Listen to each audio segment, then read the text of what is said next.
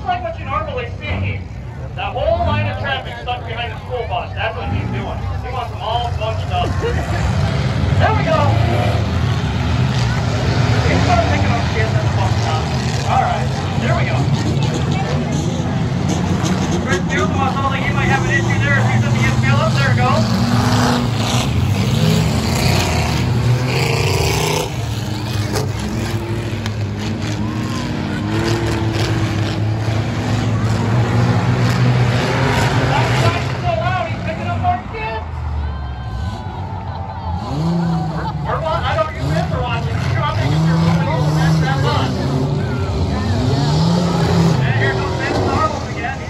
out.